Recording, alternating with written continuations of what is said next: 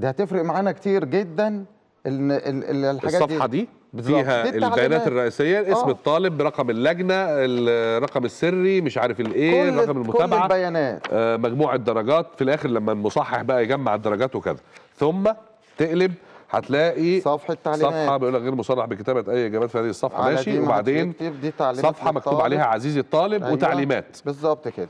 أهي. ما أعرفش كده هتعرف تشوف معايا ولا لأ. كده تمام؟ ماشي. اهو. آه آه، استنى كده. أيوه. أهي. تع- تعليمات مش عارف اقرأ السؤال بعناية أجب عن الأسئلة التالية أسئلة الاختيار من متعدد آه أيوة، أنواع ملحوظة لا تكرر. الإجابة عن الأسئلة الموضوعية الصواب والخطأ مش عارف كذا. وبعدين أجب على الأسئلة الآتية بقى دي اللي هي فيها الاختيار من متعدد فيها أنواع من الأسئلة كتير.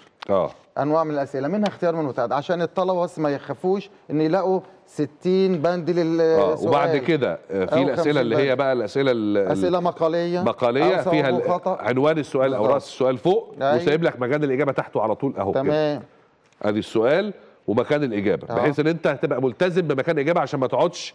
تسترسل وتطول زيادة عن اللزوم في بعض لا. الناس بتطلب ورقة إجابة زيادة في ورقة فاضية في الآخر لو حد اتلخبط في أي حاجة هيحطها ويحطها. ويزودها ورا. آه، غلط في السؤال هيشطب عليه ويعمل ورا. حتى في الفيزياء لو رسم البياني هنحط له. جزئية رسم البياني ونحط له ورقة ورا